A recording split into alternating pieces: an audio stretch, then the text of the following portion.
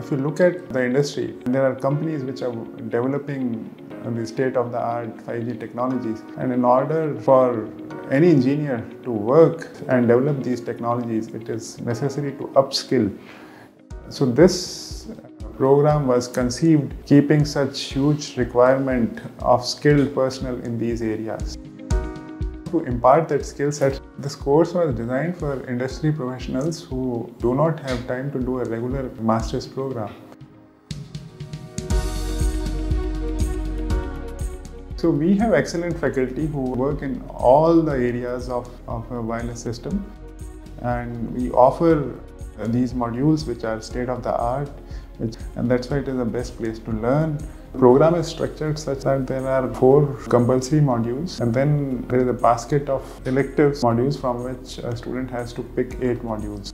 So the four compulsory modules, wireless communication, probability and random processes, applied linear algebra for wireless communication, and, and digital communication systems. And then uh, there are electives like advanced probability, then there's machine learning basics, then there's deep learning for communication, teach deep learning for uh, 5G systems, then there's detection and estimation theory. There are other also like basics of convex optimization and then uh, data communication networks. So you see there are plenty of advanced modules which are offered in the communication system program.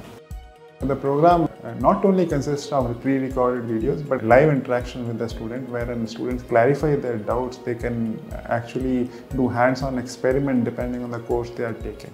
A student after doing this course will be able to design, let's say for example, this 5G or 6G system uh, which requires deep understanding of wireless basics will be able to take decision what is best technology, which algorithm is best to use, how to optimize a particular module. When a student graduate, he will be well equipped to first understand and then develop any new technology.